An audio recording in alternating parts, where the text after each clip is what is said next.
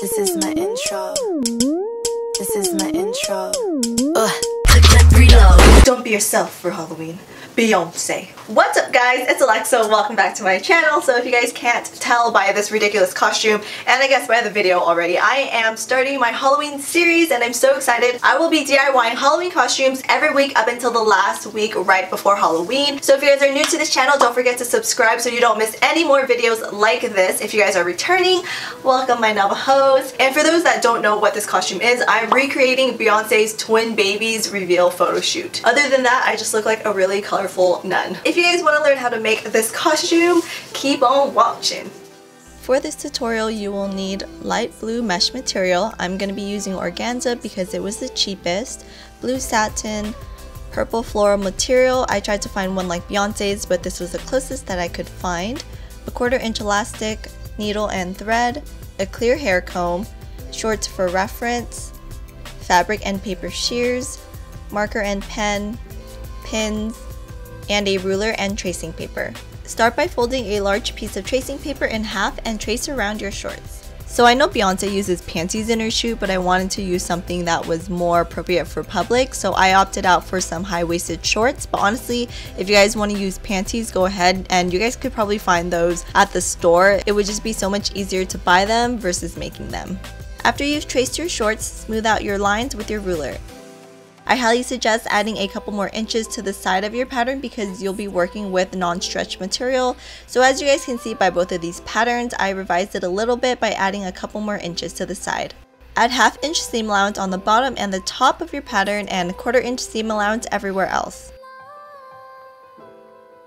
Cut this pattern out on both pieces of paper. One will be your back and the other one will be your front. So for the front, remove 1 inch from the crotch seam and 1 inch from the side seam.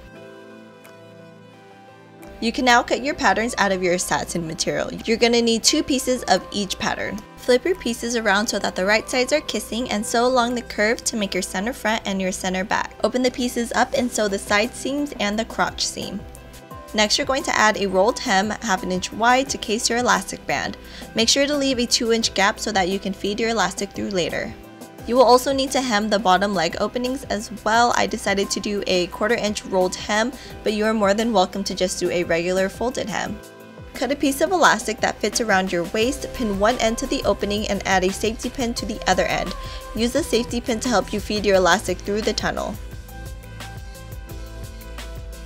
Once your elastic comes out the other end, sew both ends together and finish your rolled hem.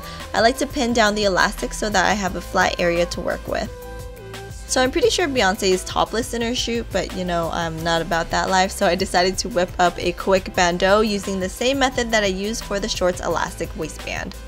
To make my sleeves, I cut two squares that were 23 inches wide and 25 inches long. Add a half inch rolled hem at the very top and a regular hem either rolled or folded at the very bottom.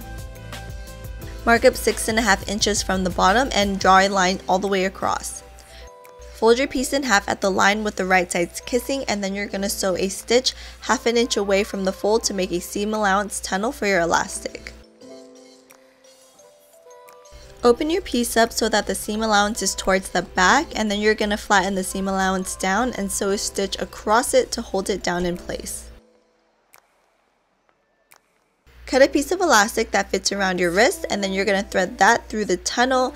Then you're going to cut another piece of elastic that fits around your arm and then thread that through the very top. You don't need to sew anything at this point, but just hold your elastic down in place with pins at both ends. Fold your piece in half with the right sides kissing and sew a seam all the way down to finish off your sleeve. For the remainder of the material that you have, find the longest edge and mark 8 inches away from both sides. Add a half inch rolled hem between those two mark points. Cut a piece of elastic that fits along your back from one armpit to another and thread that through the tunnel. Sew the elastic ends down with a small stitch. Hem the rest of the edges and sew the sleeves to the body with a small stitch. So for the veil, all I did was hem all around the edge of the material and then I found the center of one side and sewed the hair comb onto the center. It was fairly simple. Um, that's pretty much it for the costume. So now let's get our little twin babies. Hey guys, so I'm trying to find baby dolls for my costume. Don't know where they are. Hmm, I found them. They don't got naked babies? Come on. Like, I don't want babies with clothes on. I want naked babies. And I also don't want to spend $3 on a baby. These would be perfect, but they're $7. No, thank you. They work, right? Taking my babies home. Let's